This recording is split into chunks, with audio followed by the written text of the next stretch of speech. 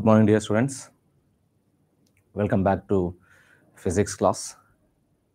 So we have discussed yesterday's about the power and some applications of power in different cases, how to solve that we have discussed. Hope it is clear. So we are continuing today the same uh, some applications of uh, power which we have left. And many applications we are having? In that we have discussed uh, some and uh, the familiar which you used to get in your competitive examinations. The intention to solve or to take the applications because of their competitive examinations only.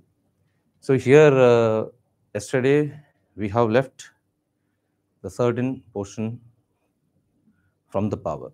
That will continue and after that we will start the collision. So here, yesterday, as we have discussed about the power, if I consider any motor, if I take any motor, so what uh, actually motor does? So what we in our daily life we are having the machines, engines, that has to do some work. So, for example, if I take a water motor that pumps the water, right? So, while it is pumping the water, it has done some work. To, the, to do that work, it has to require certain energy.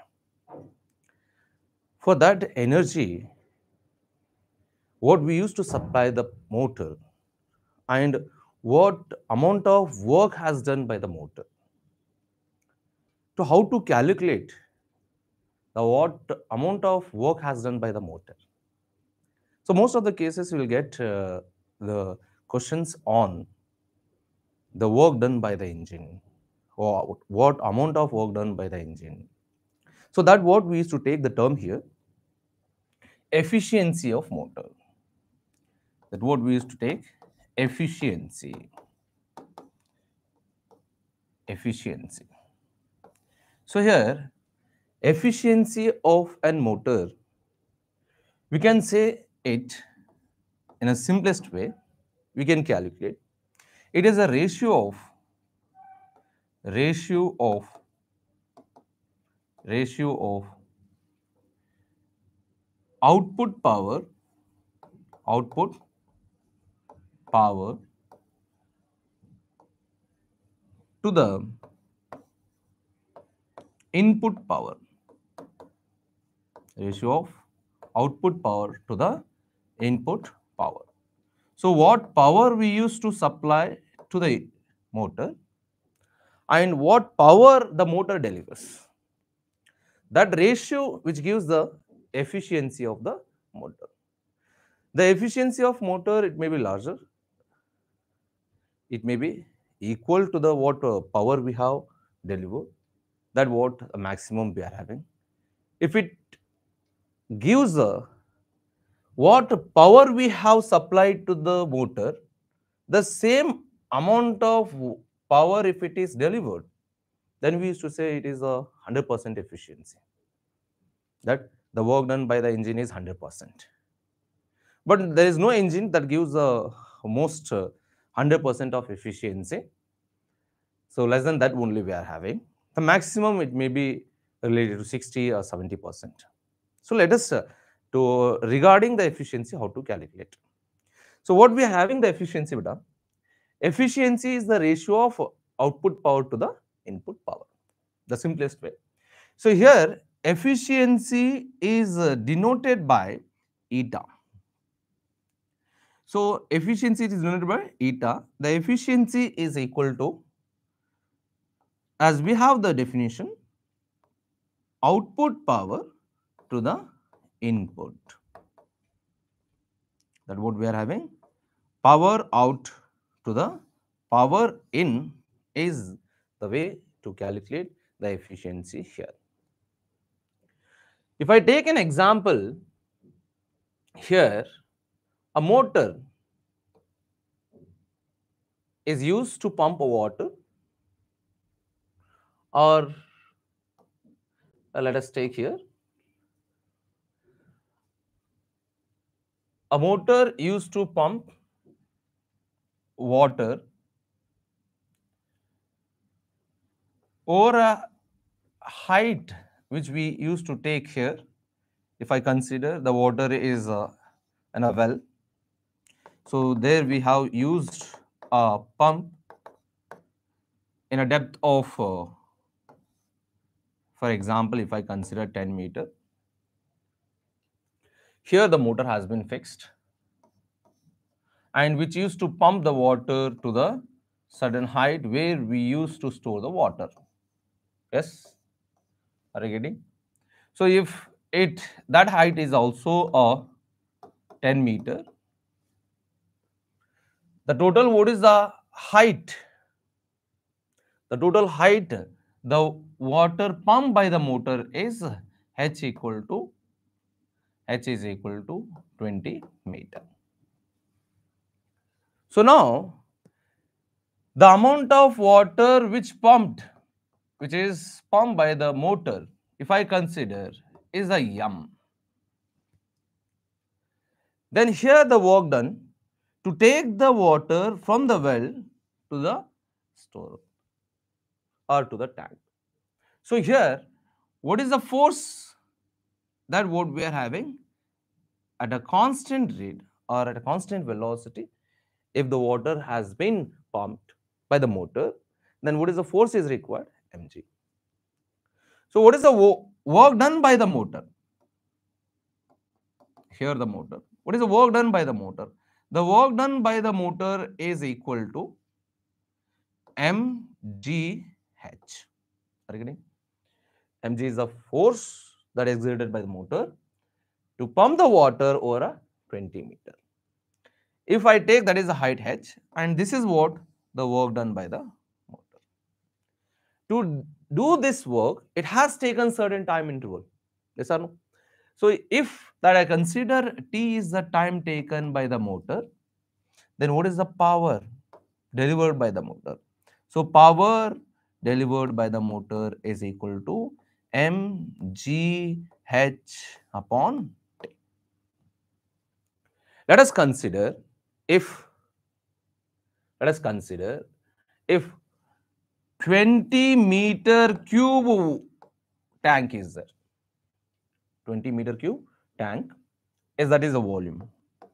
If it is filled in a time duration of 5 minute in 5 minute it has pumped over a height of 20 meter that is full 20 meter cube so as we know what is the density of water the density of water is 1000 kg per meter cube.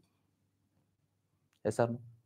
So what is the mass? So as we know, density is equal to mass upon volume. So mass is equal to, we can take volume into density. What is the volume we are having? So here the volume that is uh, 20 into density is 1000. This is the mass of water which is pumped by the motor. Are you getting? So what is the height? 20 meter we are having. So we can use this data to calculate. So are you getting, I think? So here, what is the power? So we can take now. Power delivered by the motor is equal to M is what we are having. 20 into acceleration due to gravity, you can take 9.8. For most of the times, we used to take 10 meter per second square if they have not given in the problem, we have to take 9.8 only. If they mention, you can take. For our convenient, we used to take 10. So what is the height beta here? 20 meter. 20 into 10 raised to 3 is the mass of water. So divided by, what is the time taken by it? 5 minutes, yes? What is the time taken? So as we know here, the time taken by the motor is 5 minutes. So you can take that here 5 5 into 60. Why? Minute we have to convert into second. So if I cancel this 0 and this 0 or 2 ones are 2, 3 is a. So here 2 into 98 I can take because I'll shift the 0 here. The decimal point will be shifted into 10 raised to 3 divided by 5 3s are it will be 15. And this is what the power delivered by the engine. So power which used to measure in watt. Are you getting? So what is the efficiency now? The efficiency is equal to efficiency is equal to power out by power in. So we can write here the power out is what we are having mgh upon t p in.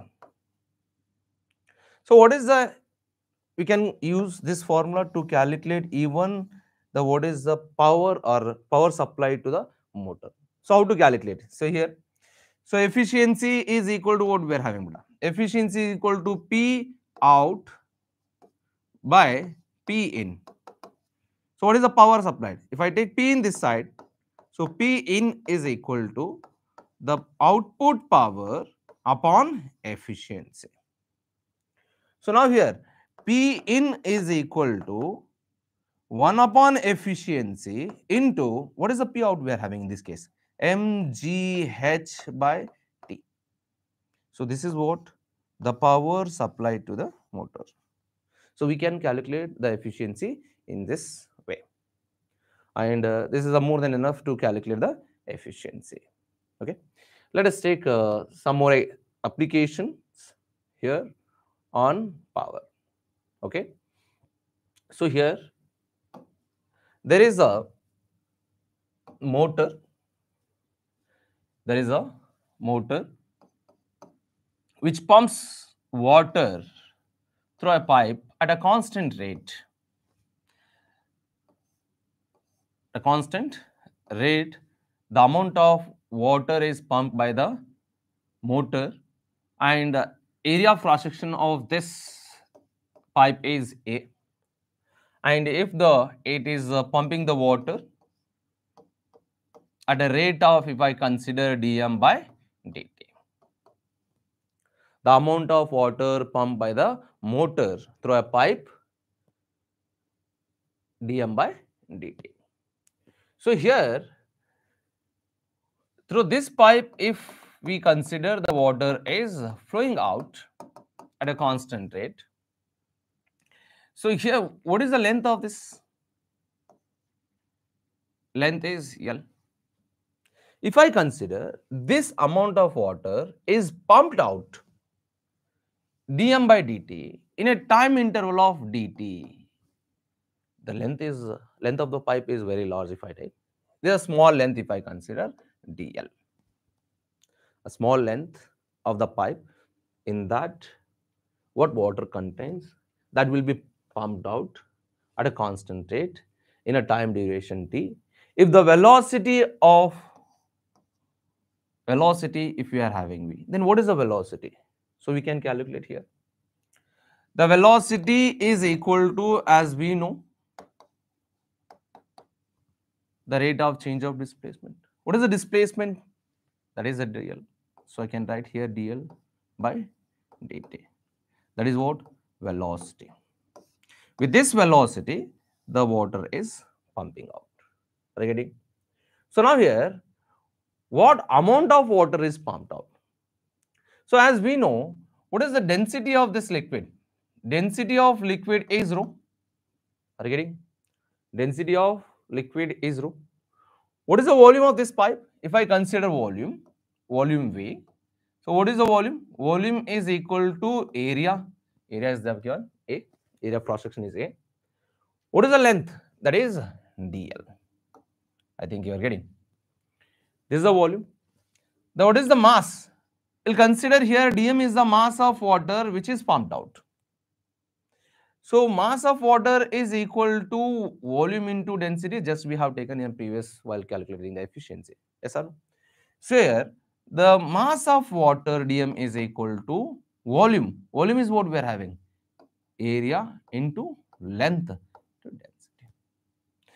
at a constant rate the amount of water is flowing then if i take dm by dt So that equal to what will get bit here? D that is A dl by rho upon dt. So can I write this is A as it is, rho as it is, dl by dt as we have just calculated that is the velocity with which the water is flowing out. So I'll write here the velocity v. That means dm by dt is equal to a rho v. v is the velocity with which the water is flowing out.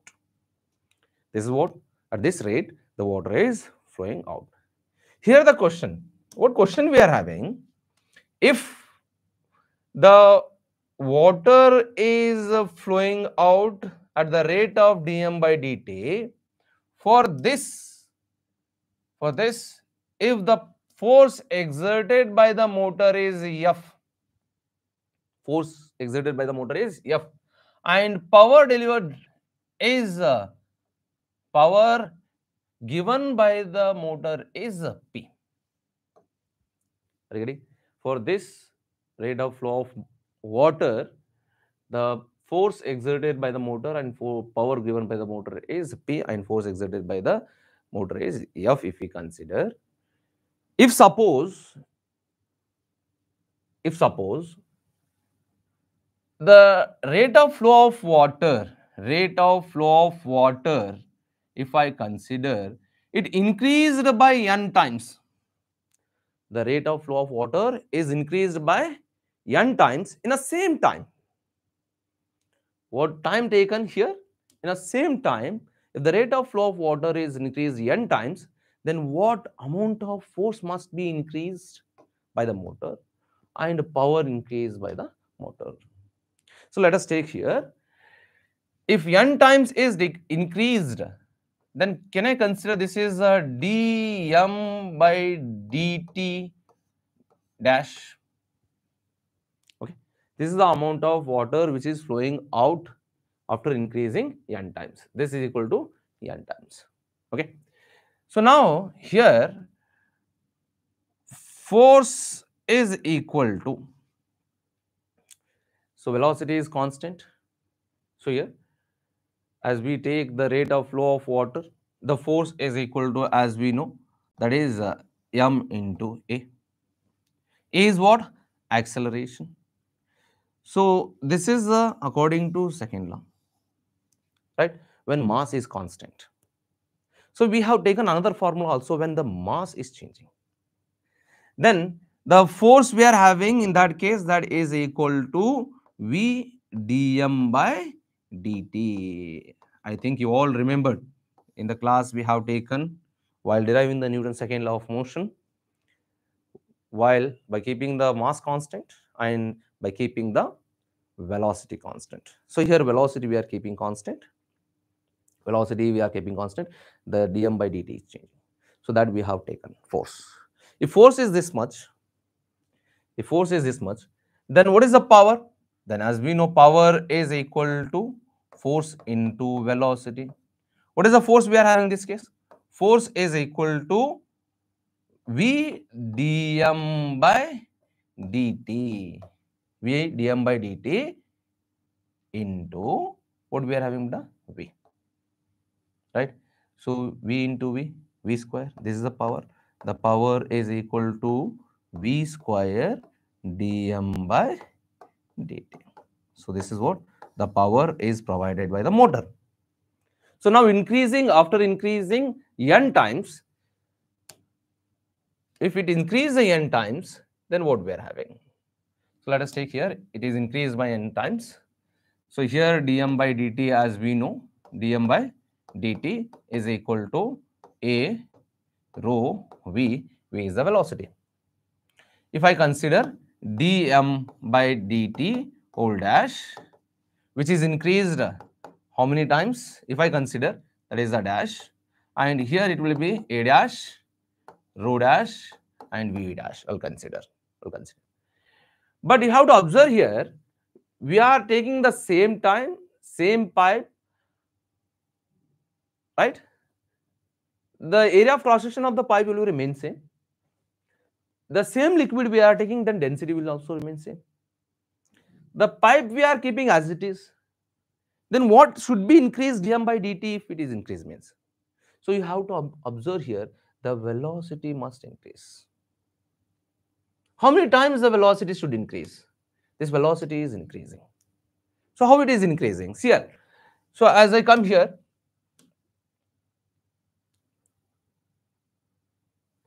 i'll take this as it is. Dm by dt. Hope you are following all of you. Dm by dt dash. A area of cross section as we observed remains same. Same liquid same water we are having density will be remain same. So is changing what? That v dash i'll keep as it is. But dm by d, dt dash is equal to what we are having beta n times can i write here? N times of dm by dt but dm by dt is what we're having. I write here A rho V dash is equal to N, what we're having? A rho V. So A get cancelled, rho rho get cancelled. What remains? V dash is becomes what times? N times. N times the velocity is increasing so that the, the N times the dm by dt is increasing. As it increases, the velocity is increasing, area of constant will remain same, density of the liquid will remain same. So here, as I take here, the force is uh, F dash that equal to what we are having V dash dm by dt dash. Yes or no? So V dash is what we are having NV, just we have taken. Here you have to observe. But dm by di dash is what we are having N dm by dt. So n into n, so as we can write here, n square v dm by dt.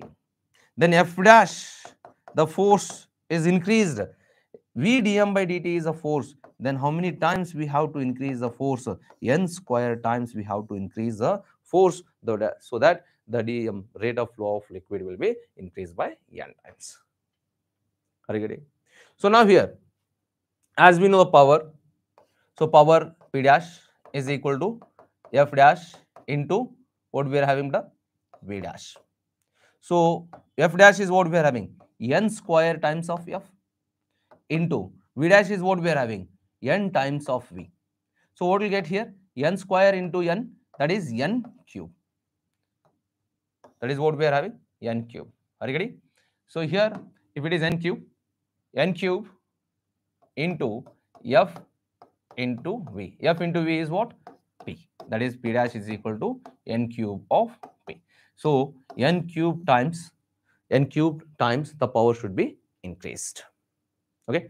Hope it is clear. Remember, if the rate of flow of water is increased by N times by keeping the area of cross section is constant, pipe, uh, of this is remain same, the same water we are taking. So N times if it is increased the rate of flow of liquid, then what amount of uh, power and force should be increased by the engine. So this is a way to calculate. So here uh, the one question we got the rate of uh, constant at a constant rate of flow of water is taken place in the case of pipe. If the three times of rate of flow of water is increased, then what oh, times the motor power should be increased? Three times we are taking. Three times means, so as we are having here, so you can write here 3 times p dash will be equal to 3 square. How many times we should increase?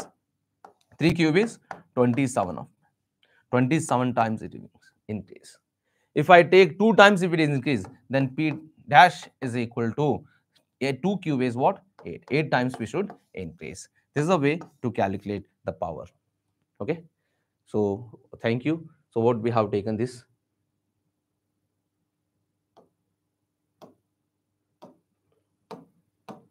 So this is what the way to calculate the power increased. Okay. So now let us take here the one more example. There is a there is an automobile. One of the application is very important here. This one also. Let us take uh, the theory oriented question they have asked here. There is an automobile. There is an automobile there is an automobile whose mass is m whose mass is what m whose mass is m which is starting from rest whose initial velocity is 0 when time t is equal to 0. Velocity is 0 when time t is equal to 0. So here a constant power is delivered by the engine. Constant power is delivered by the engine. Then it's accelerating in the direction of power in the direction of force. So now here, in this case, if after the certain time t, after the certain time t, as it reaches certain position, so here what there is an acceleration, then of course after a certain time t, it acquires a velocity. So as it covering after a certain displacement, it acquires certain position. This is what displacement covered a body. The question is that if power is a constant, power is constant, power is constant.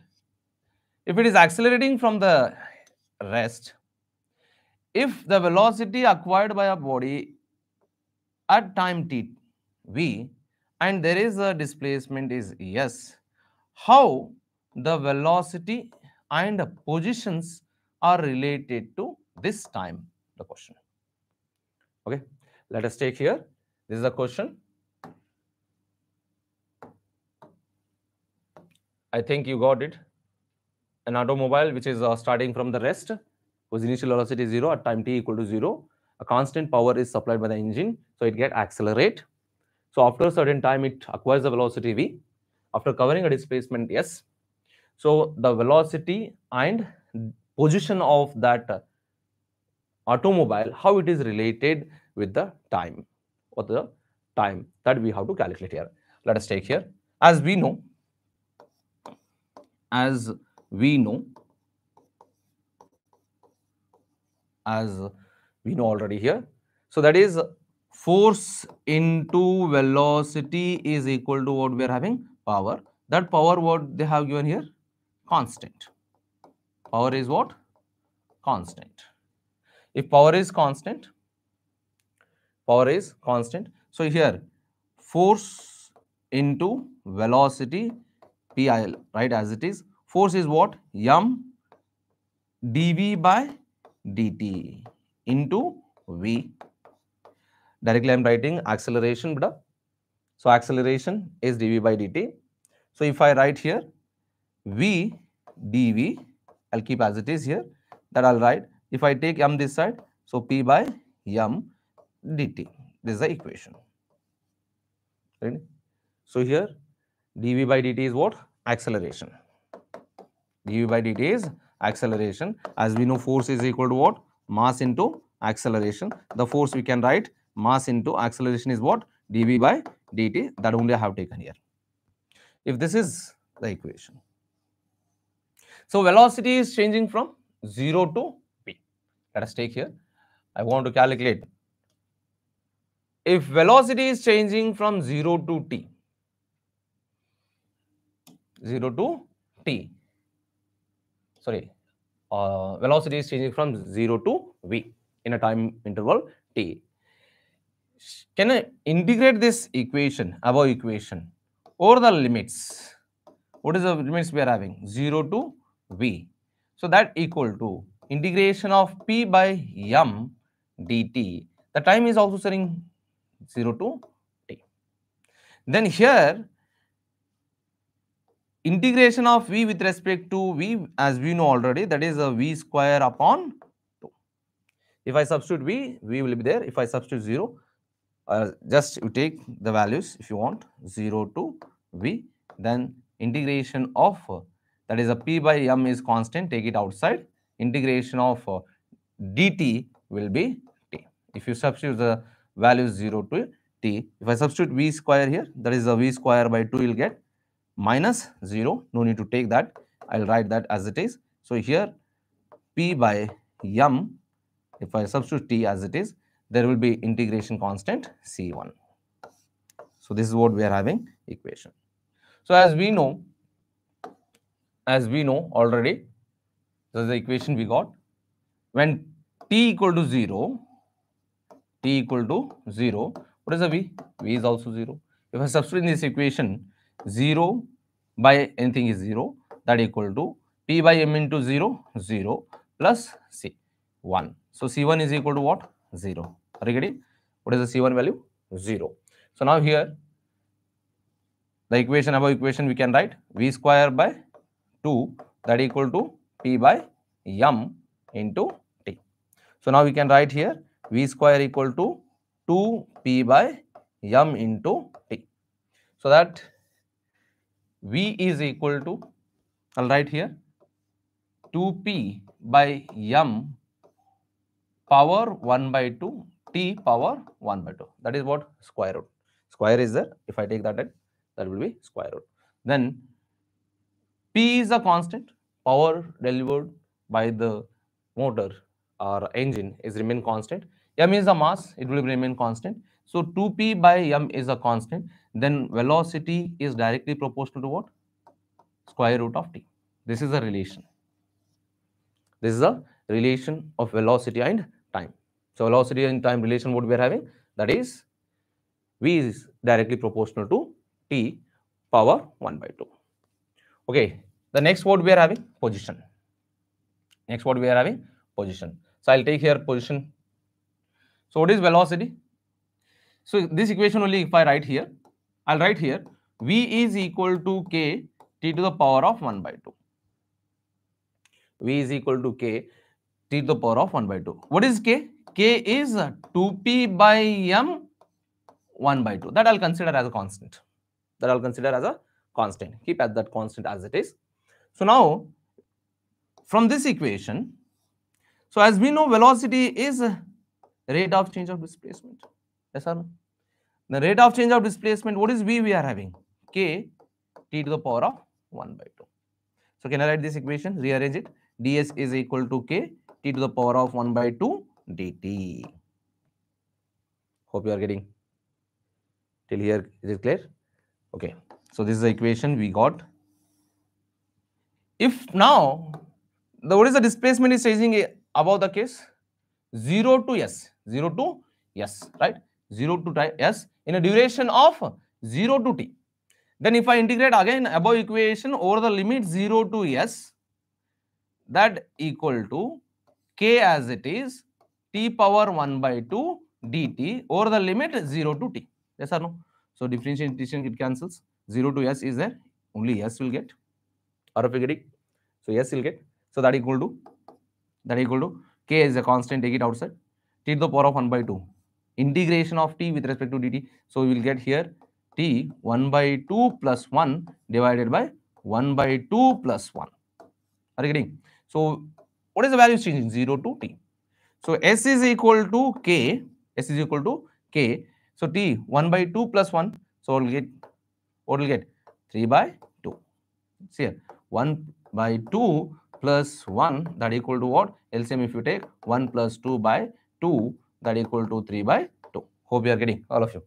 So divided by in the denominator what will get? Again 1 by 2 plus 1. So that will be 3 by 2. This you can write here S is equal to 2 by 3 K T to the power 3 upon 2. So again 2 by 3 K is a what? Constant.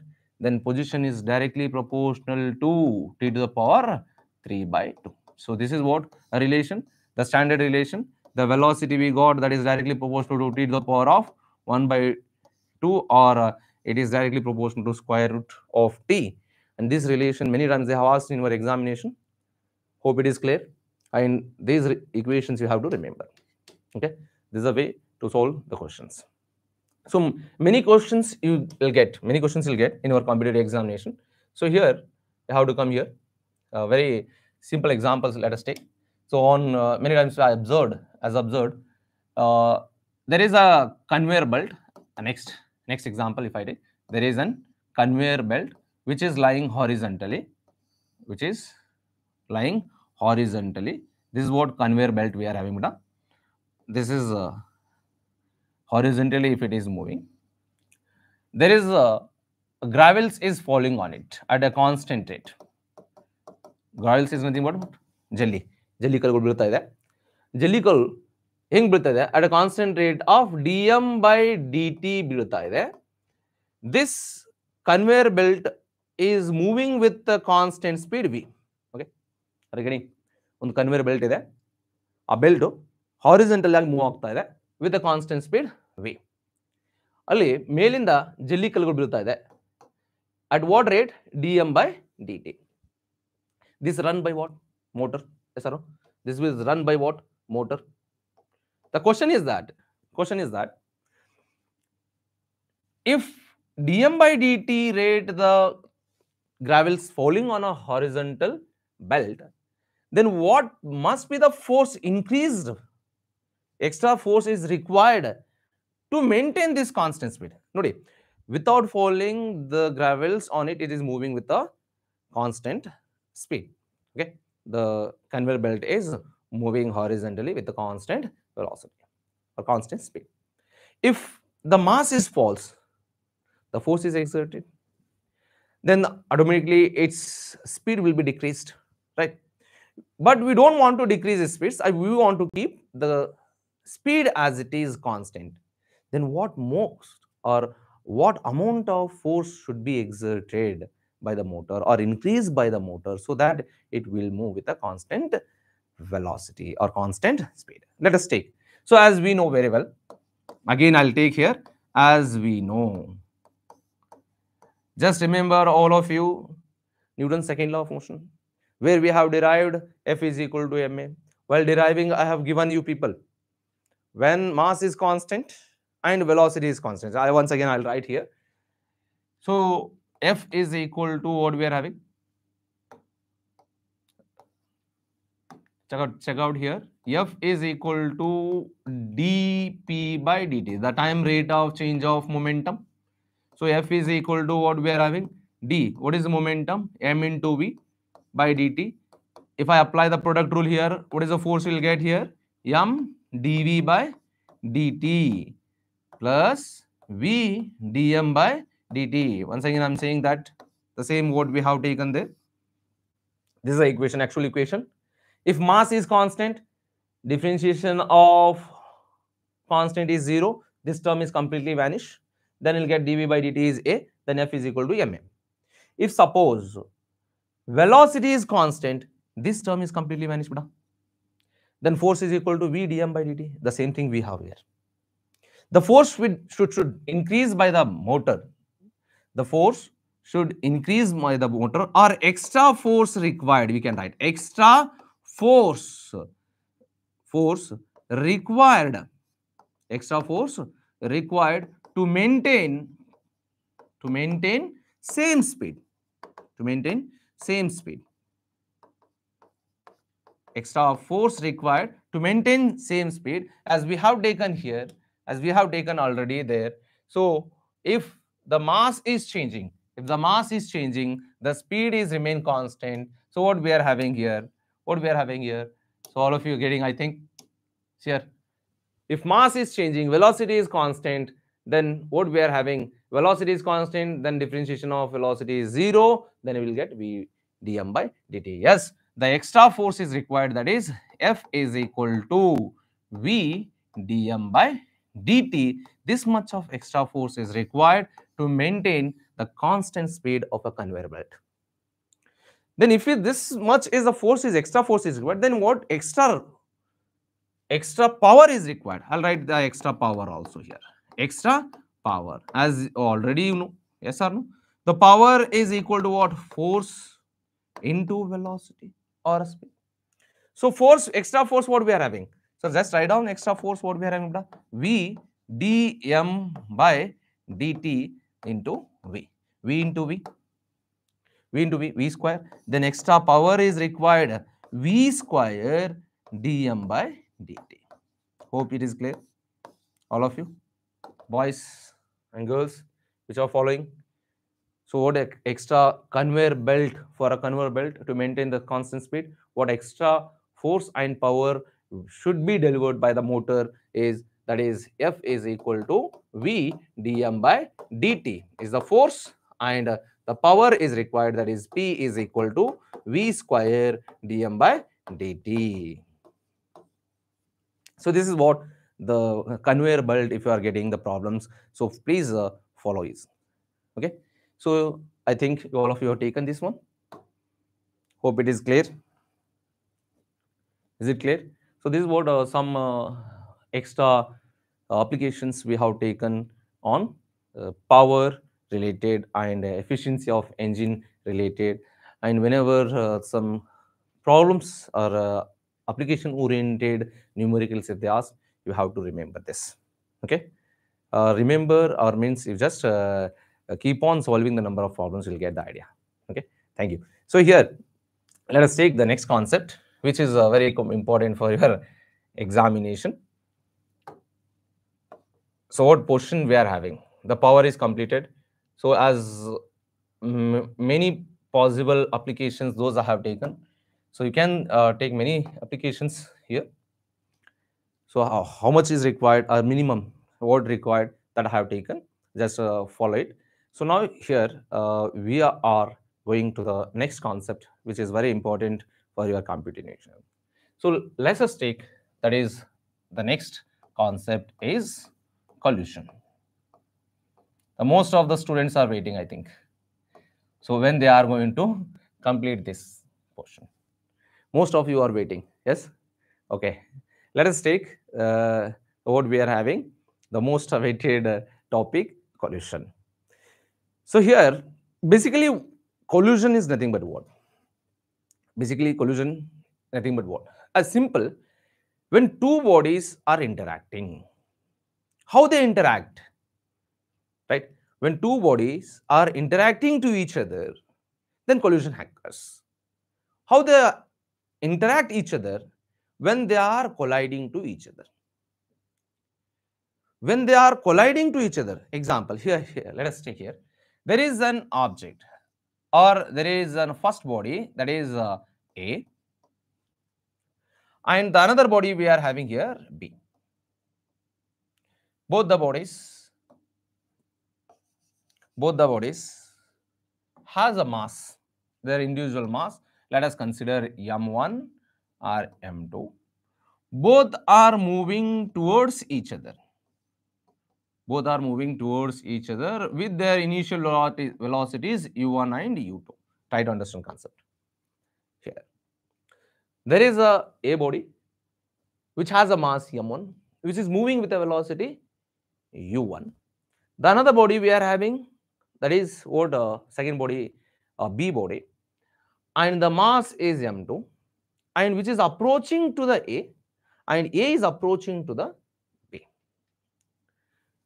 A is approaching to a B, B is approaching to A. After some time, after t time, they move, they both are moving along the same direction, in the opposite direction, along the same path then definitely after a certain time, the A must collide with the B.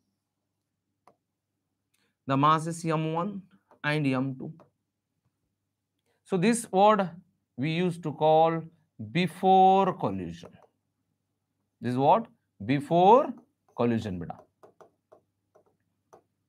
Before collision. So this word, when collision occurs, that what we used to call during collision. I'll come, I'll come back here. You have to observe here during collision. The first body is colliding with the second body and second body is colliding with the first body. When they're colliding, they exert a force on each other. And that force, a very large amount of force, very large amount of force, which acts for a small duration of time. That what we used to call impulsive force is acting between them. When these two bodies are colliding, there is an impulsive force between these two bodies. If the impulsive force is acting, that force is acting for a duration of what? A small duration of time, delta t if I consider. And A is interacting with B, B is interacting with A. While interacting, while interacting, the force exerted, which force we are having? impulsive force which is acting on A due to B in this direction. Are you getting? The force exerted on A due to B in this direction, that is what impulsive force we are having,, FAB. The even the force exerted on B, even the force exerted on B, that is FBA in this direction. This is the force. These are the forces are acting on these two bodies when they are colliding. And these are the forces what we used to call impulsive forces and very large forces.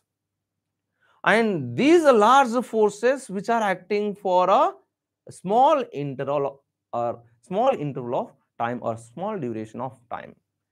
So when the collision occurs, there will be interaction between these two bodies physically. Okay. The strong interaction or physical interaction among the bodies, among the bodies, there is an exchange and this exchange of force and the impulsive force which acts for a duration of time, there is a certain producing momentum or that produces change in momentum or there is a exchange of momenta we can say.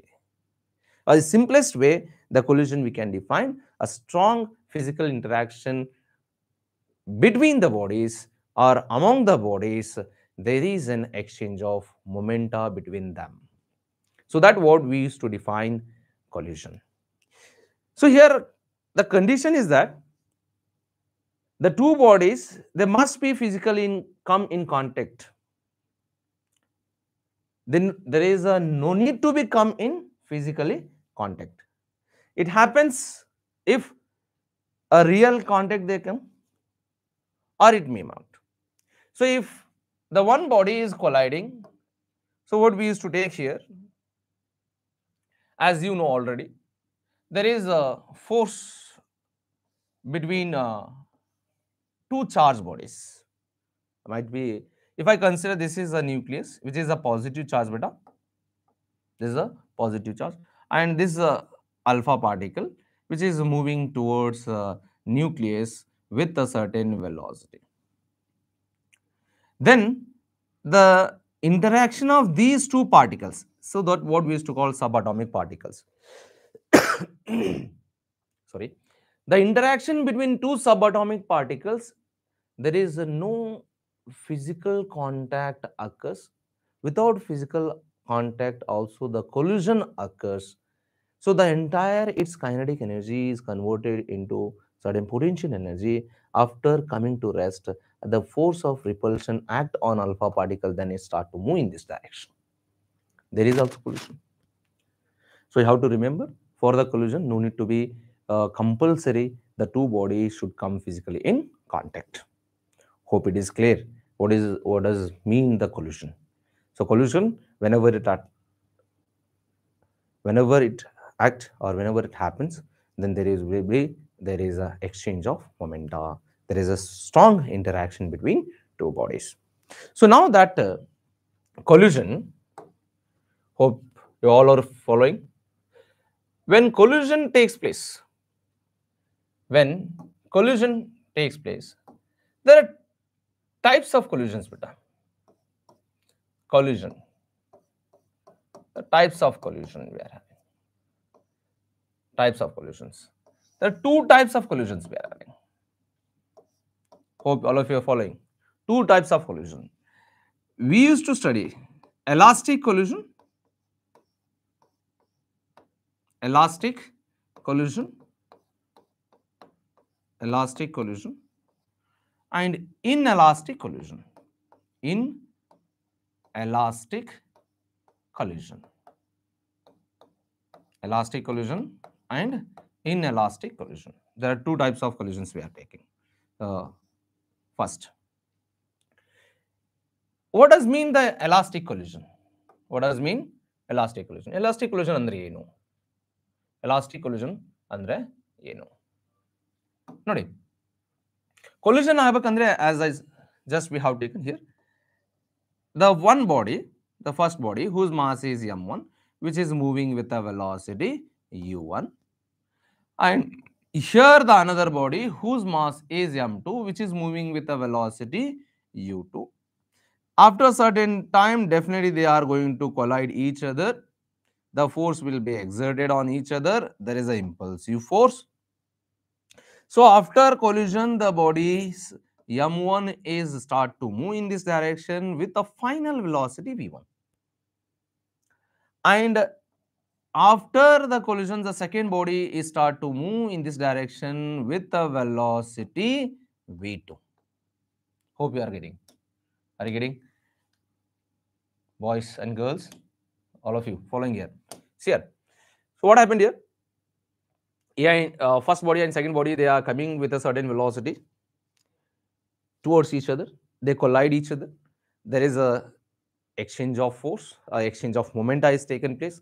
The first body start to move in this direction with a velocity v1 and the second body start to move with a velocity v2. So as these two bodies are moved, then here before collision, you have to observe here. This is the condition before collision. Yes or no? And there is a kinetic energy, initial kinetic energy. what is the initial kinetic energy? The initial kinetic energy of this system is uh, half m1. What is the velocity? u1 square. And plus half m2 u2 square is the initial kinetic energy. What is the final kinetic energy?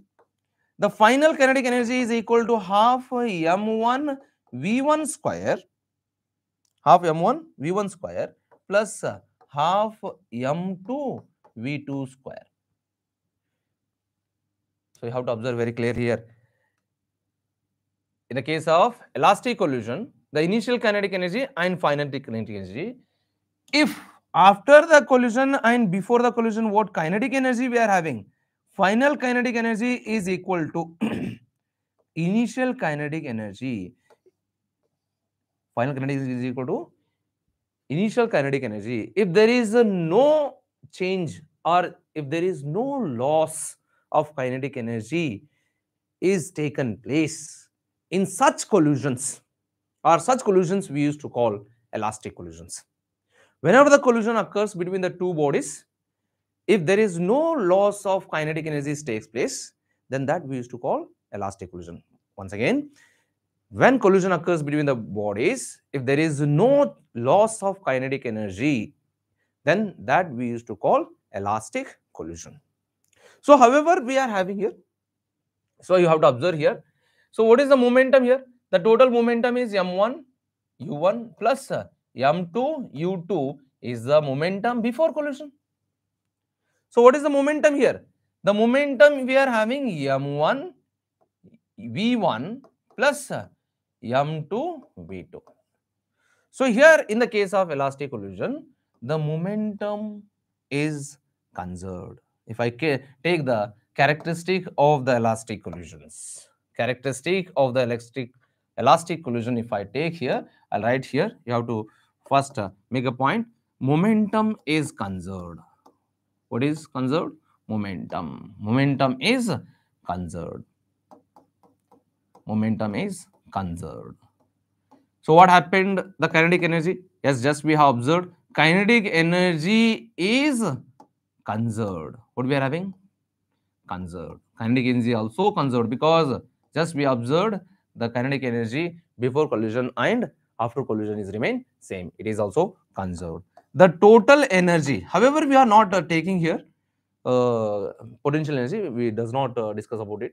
We won't discuss about it. Our total energy, total energy of the system is remain conserved. Total energy is conserved. Conserved.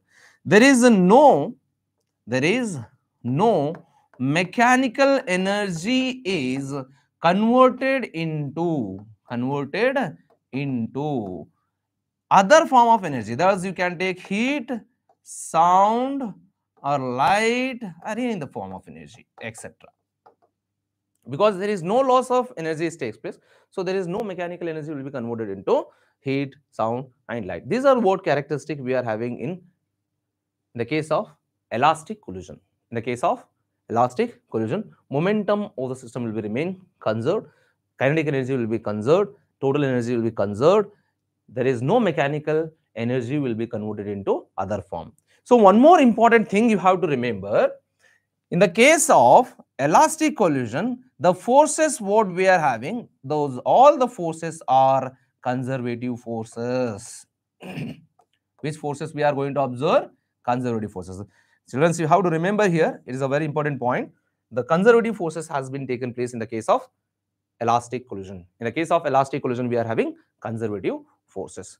And these what the characteristic of characteristics we are having for elastic collision. Let us take here the second, which one we have taken. Here you have to observe. So second one we have taken here, that is inelastic collision. We have discussed about now elastic collision. Hope it is clear. So what is the elastic collision? A simple thing you have to remember, there is no loss of kinetic energy. If there is no elastic, there is no loss of uh, kinetic energy, then that we used to call elastic collision. Now, the opposite what we are having, inelastic collision. Let us take inelastic collision. So here, in the case of inelastic collision, inelastic collision, I'll take the same example here. If the two bodies again coming towards each other, the collision occurs, then the final. So directly I'll write here the same thing. The initial kinetic energy what we are having that is half m1 u1 square plus half m2 u2 square. You, you people are going to define now in elastic collision. See, just you have to observe. So final kinetic energy what we observed that is that is half m1 v1 square plus half m2 v2 square.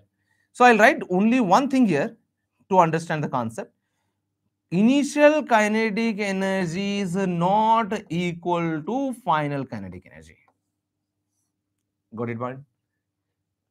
Just you have to remember here. Initial kinetic energy is not equal to final kinetic energy. What it does mean? That there is a certain kinetic energy is lost. It may be any other form there is a certain kinetic energy is lost. That means what? In the case of inelastic collision, in the case of inelastic collision, there is a loss of kinetic energy. In any collision, if there is a if there is a loss of kinetic energy takes place, then such kind of collisions we used to say inelastic collisions. Hope it is clear. Hope it is clear. All of you are getting. So here, if there is a loss of kinetic energy, then we used to say elastic collision. Let us take here the characteristic of what are the characteristic what we have taken in the case of in the case of uh, elastic collision. We will take here in the case of inelastic collision also. So any any collision, any collision, a before collision, after collision, during collision, elastic collision, inelastic collision, it will be holds a law of conservation of momentum that you have to remember. It holds law of conservation of momentum law of conservation of energy. Energy here you have to observe in the case of inelastic collision. Energy which energy is lost? Kinetic energy is lost. That will be converted in the form of other energy. But total energy will be remains conserved.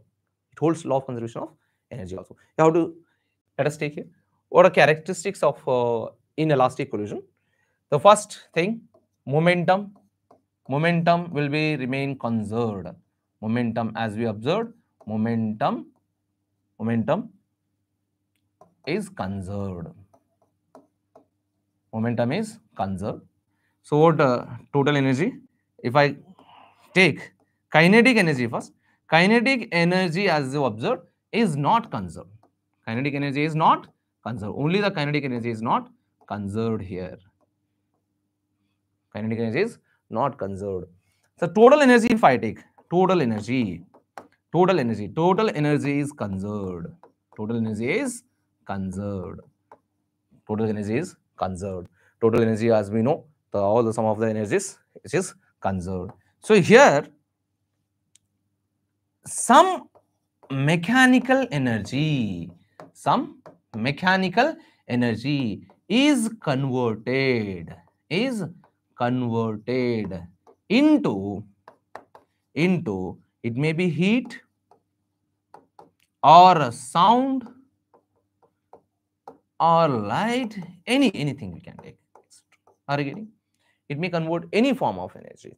So some mechanical energy is converted into heat heat or sound.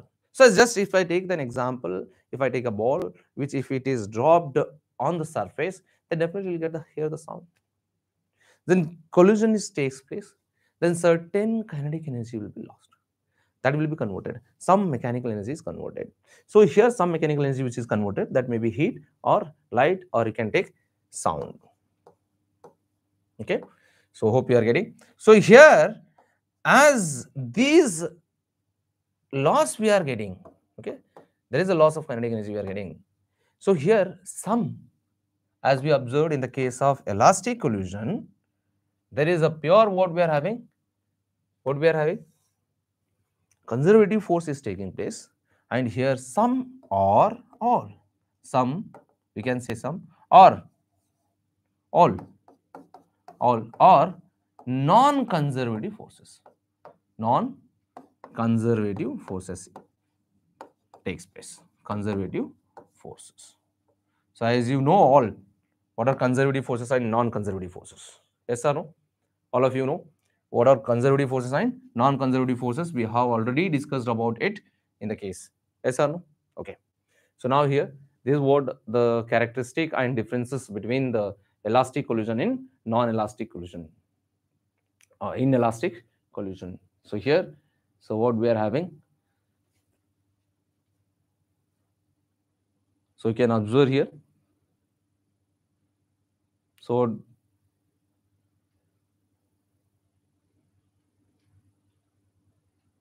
So here the collision, collision for V we are having elastic collision and uh, inelastic collision. In the case of uh, elastic collision, there is no loss of kinetic energy. Here we are having there is a loss of kinetic energy. So what these we have taken some uh, uh, characteristic of in the case of elastic collision and inelastic collision. Okay.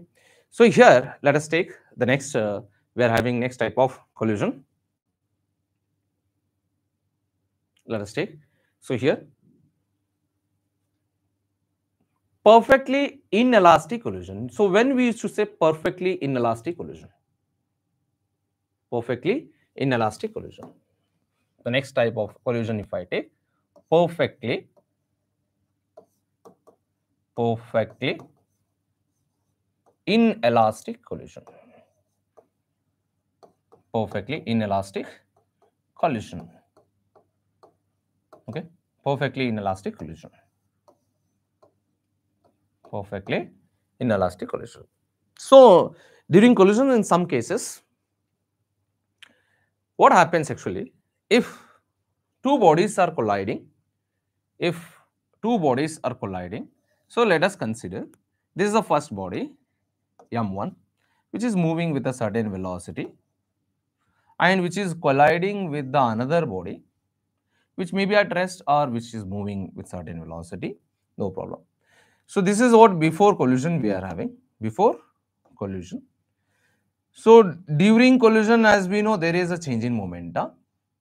But in this case what happens? So after the collision the both the body sticks together after the collision this is what after collision we are going to observe. After collision, two bodies uh, sticks together and they start to move along with as a single body. They start to move as a single body with a common velocity. If two bodies are colliding, if the two bodies are colliding and they sticks together and they with move as a single body with a common velocity and such kind of collisions we used to call perfectly inelastic collision. Perfectly inelastic collision, what does it means? We are going to define if two bodies after the collision stick together, moves along the or moves as a single body with a common velocity, such collisions we used to call perfectly inelastic collision that you have to remember here perfectly inelastic collision. So in this case, what is the momentum we are having in this case? So momentum we are having that is before collision is m1, u1 plus m2. u2 what we consider? It is at rest u2 is 0 if I consider into 0 that equal to after collision m1 plus m2 after collision is m1 into m2 into v because common velocity we are having. So that we can say here m1 u1 is equal to m1 plus m2 into v. This would we are having the momentum and from this you can calculate the velocity after the collision is m1 upon m1 plus uh, m2 into u1. For in the case of inelastic collision, you can calculate the final velocity the acquired by the system that is m1 by m1 plus m2 into u1. So this is what the one kind of uh, uh, perfectly inelastic collision we are going to observe. Let us take here head-on collision. What does mean head-on collision? So what we are discussing about the types of collisions. So in the case of head-on collision, head-on collision, we used to take head-on collision, head-on, or you can say one-dimensional collision, one-dimensional collision. So one-dimensional means, as we know, only one direction, one-dimensional collision. Okay, in the case of head-on collision or one-dimensional collision. So very important this one they were asked many times for uh, your uh, theory examination for 5 marks. Let us uh, observe here what does mean head-on collision. Head-on collision is when, when two bodies are colliding moving along a straight path. When they collide before collision they are moving along the same path. So after collision also the both are moving the same path. If a same straight line motion is there then that what we used to call that what we used to call head-on collision. Head-on collision or one-dimension collision. So here, let us consider two bodies of masses m1 and initial velocities are u1, mass m2 and initial velocity is u2. Let us consider two bodies of masses m1 and m2. Both are moving with the initial velocities u1 and u2 respectively. So here, this is what we are having before collision, BC, the before collision. Okay. So now here, after a certain time, after a certain time, definitely both are going to be collide. Collide. You cannot say that collide. If suppose, if I consider u1 is equal to u2, then they are never going to be collide. Are you getting? u1 condition if they have give u1 is equal to sorry. U1 is equal to suppose u1 is equal to u2 then the separation between them will be remain constant. They're never going to be collide. What should be the condition if the collision occurs? The condition must be u1 should be greater than u2 or u2 should be less than u1 that is the condition. So after the if this condition is there then after some time definitely they are going to collide then during collision what happens? As we know there is an exchange of momentum. There is an interaction. The interaction forces are impulsive forces. That is f12 force is exerted and f21 is force also comes in act. Yes or no? So now these masses are m1 and m2 this is what happens in during collision. During collision as you know already. Okay. This is a during collision. So what happens after collision so after collision the m1 is start to move with the velocity v1 and m2 is start to move the velocity v2 this is what happens after collision. After collision. So after collision let us consider v2 is greater than v1 okay? So why it is? Let us take here this you have to remember so this is what so before collision during collision and after collision they are all moving along the same path along the straight line path so that we used to call one dimensional okay so now here as we know in the case of, if I consider, this is what head-on collision in the case of uh, elastic collision. Remember this one. Which collision we are considering? Elastic. Which collision? Elastic collision we are taking. So the elastic collision is there as we will consider here. So what are the characteristics we are having in the case of elastic collision? As uh, just we have taken. In the case of elastic collision, as we know, as we know, momentum is conserved. Momentum is conserved. So what is the momentum we are having? Momentum is conserved. As momentum is conserved, so what is the momentum we are having before collision? m1 u1 plus m2 u2 so that equal to what? m1 v1 plus m2 v2. Yes or no? This is the momentum. So before collision we are having m1 u1 plus m2 u2. So after collision we are having m1 v1 plus m2 v2. Yes, this is equation number 1. Suppose if I separate the m1 body one side and m2 body one side, so we can write the rearrange this formula or this equation m1 u1 minus m1 v1 just I am taking this side and we'll send this so m2 v2 minus m2 u2 can you take m1 is common here? M1 u1 minus v1 so that we can write here beta. M2 if I take common so what will get here? V2 minus u2 this is what we are having. The equation 2 consider. Equation 2 okay. So now as we know if this is according to law of conservation of momentum so in the case of elastic collision is the other thing is also conserved which one we are having kinetic energy is also conserved kinetic energy is conserved yes or no are you getting? Kinetic energy is also conserved. Then kinetic energy is conserved. Then what is the kinetic energy before collision?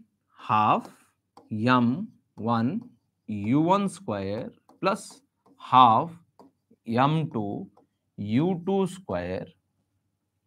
So that equal to what? Half m1 v1 square plus half m2 v2 square. If I take both side half common, then half half get cancelled. Then you'll get m1 u1 square plus m2 u2 square equal to m1 v1 square plus m2 v2 square and take m1 one side and m2 one side. So m1 u1 square minus m1 v1 square is equal to m2 v2 square minus m2 u2 square. Are you getting? Just I am taking m1 side and m2 one side. So here we can take m1 again common. So we'll get here u1 square minus v1 square. So that equal to m2 v2 square minus u2 square. So this equation, see here. So this equation we are getting from what? Which equation? And this is the equation from kinetic energy we are getting. So what we are going to calculate? Final velocity we are going to calculate, v1 and v2, right? So now here, can I write this m1? a minus b whole square is a square minus, sorry, a, my, a square minus b square is equal to, as we know, a minus b into a plus b. So that in form that you can write u1 minus v1 u1 plus v1 so that equal to m2 so here we can write similarly V2 minus U2, V2 plus U2. So this is the equation number 3. This is the equation number 3. So now you just uh, observe here, just check in.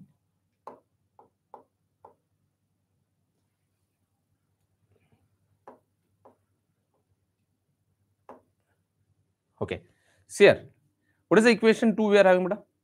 m1 u1 minus v1 equal to m2 v2 minus u2. So that equation 3 what we are having? If I divide equation 3 by 2, so what will get? Dividing, dividing, dividing equation 2, equation, sorry, equation 3 by 2. Divide this equation. So this is the equation 3 and this equation is dividing, okay? This equation is dividing, that what we you have? m1 u1 minus v1 into u1 plus uh, v1 that equal to m2 v2 minus u2 into v2 plus uh, u2 this we are dividing equation 2 what we are having m1 u1 minus v1 divided by m2 v2 minus u2 and this and this get cancelled. This and this get cancelled. So what remains beta u1 plus uh, v1 so that equal to v2 plus uh, u2 so this is the equation we are getting right? Can we rearrange this one so u, u is one side u1 minus u2 so v one side v2 minus uh, v1 so this if i rearrange and this is the equation equation number 4 so you have to observe in this equation. So here what happening? So you have to observe here. U1 and U2 are the initial velocities. Are you getting? U1 and U2 are the initial velocities. So V2 and V1 are the final velocities. So can I write here relative velocity? Relative velocity of 1 with respect to 2 and relative velocity of 2 with respect to 1. Or in the case of before collision, before collision, V1, U1 is greater than U2. U1 is greater than U2. The U1 is approaching to second body. The first body is approaching to second body. So what is this relative velocity of approach? Relative velocity of approach. So after the collision, V2 is greater than V1. V2 will move with a larger velocity v1 is a smaller velocity then second body V moves with a larger then if it is larger velocity we are having then there is a separation are you getting are you getting on my point so here if i consider m1 is moving with u1 m2 so here u2 u1 is greater than u2 then of course the it is approaching u1 is approaching to u2 our first body is approaching to second body before collision. So after collision, what happens? So after collision, so m1 is moving with a velocity v1, which is less than the velocity of v2. So v2 has a greater velocity, then of course it go faster. Then the separation between them is goes on increases. So here the separation is in decreasing. Here the separation is increasing. Are you getting? So here we can write approach and separation. So this u1 minus u2, when we used to take relative velocity of 1, 2, that is relative velocity, velocity of first body with respect to second body. This is a relative velocity, 1, 2, u1 minus u2. So similarly, we can write here, beta. So this I can write here in the words. So this is the relative velocity of approach will be equal to relative velocity of separation. So therefore, so this we can write.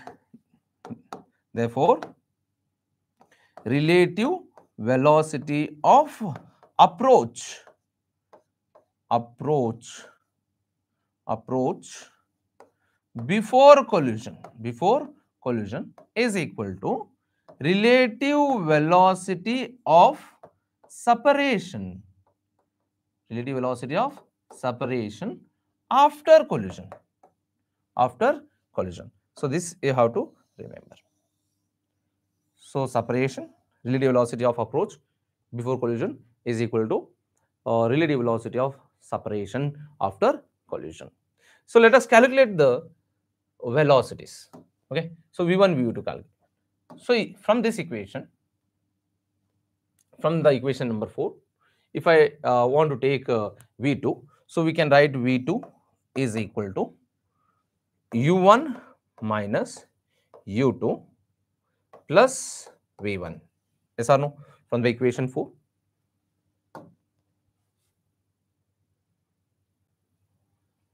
From equation 4.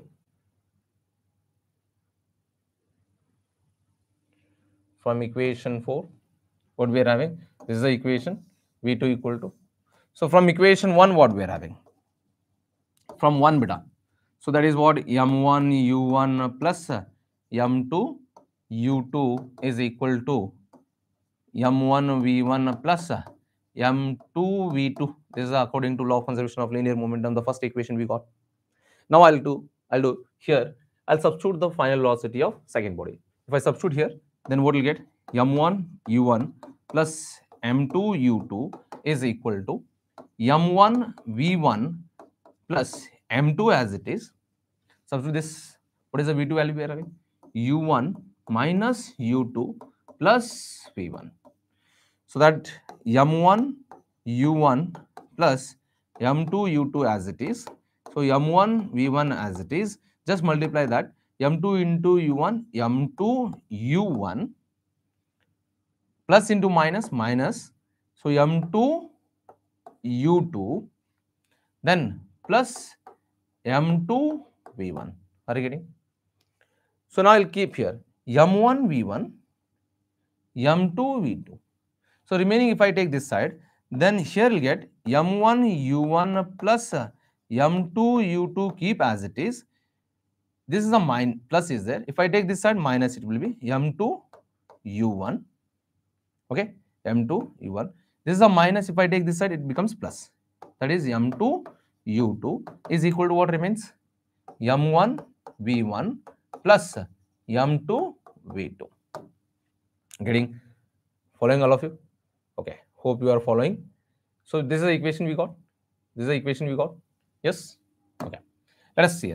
So M1 U1, M2 U2. One side will take. So here U1 U1 can I take common? Okay, beta? So here can I write M1 minus M2 into U1. So M2 U2 plus M2 U2. So what will get here? 2 times of M1, sorry, M2 U2. This is the equation. So that equal to here V1 can I take common? So here what we are having?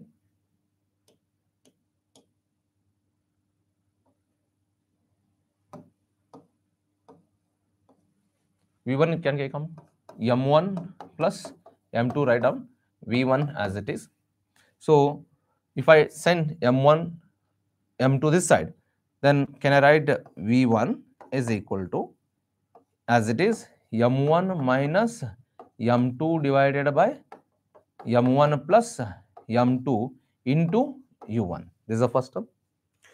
Plus, right, 2 M2 divided by what will get here? M1 plus M2 into U2.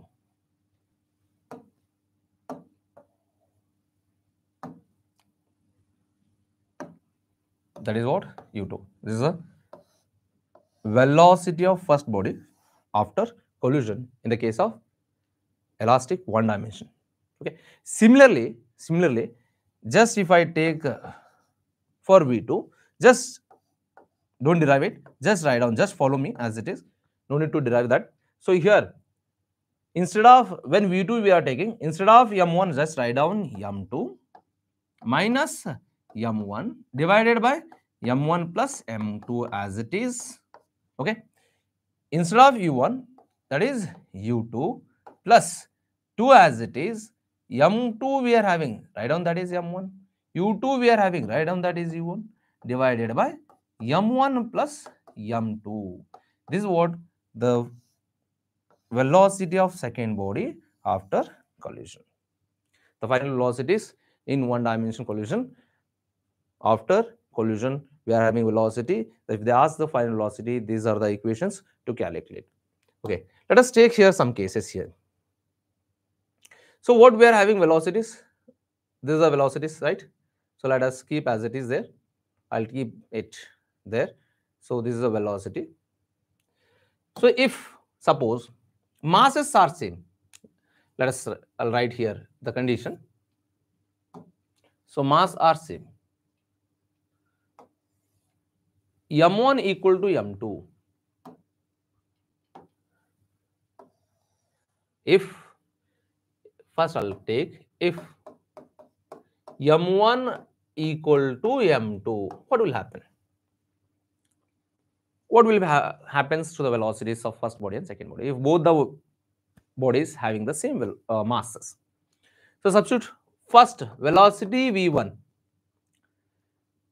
equal to what will get m1 minus m2 both are equal means m minus m divided by m plus m is 2m into u1 getting so now here plus as it is 2 m2 m2 is what? M divided by m plus m 2m into u2 as it is. Are getting so m minus m is what?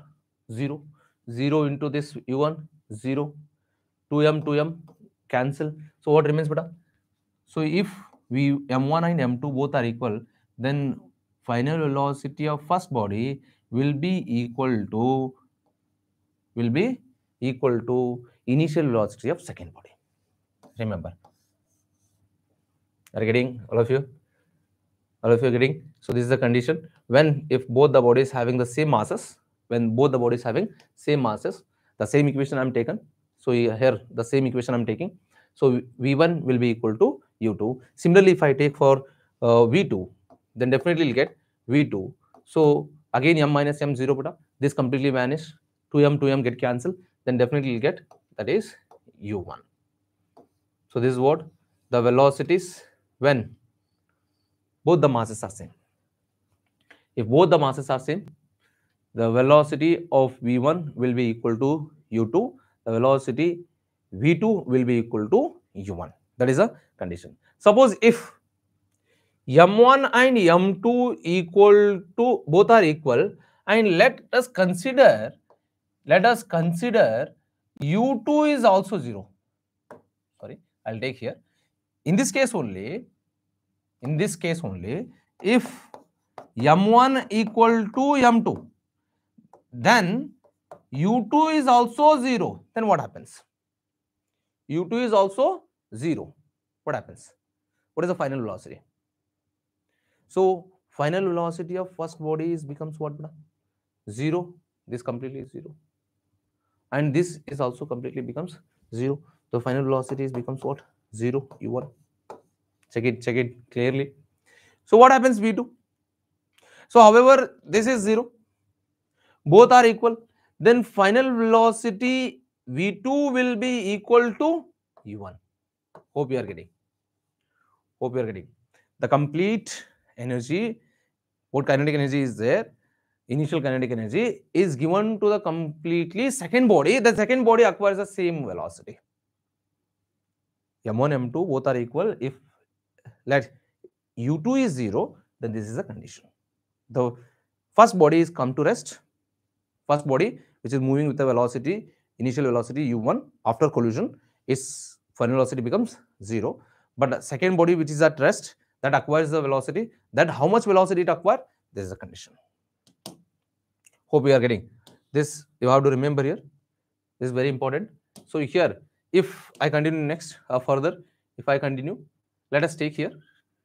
Let us consider the same uh, what we are having velocities u1 and u2 i'll take those only let us consider if if condition if i consider consider. Let us take here if m1 is much less than the m2 m1 is negligible. If m1 is negligible m1 is negligible then v1 is becomes what bada v1 is equal to m1 is negligible.